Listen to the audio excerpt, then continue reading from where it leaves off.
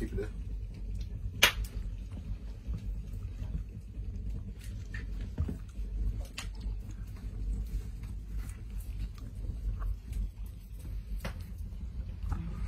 I need a new pair of jeans.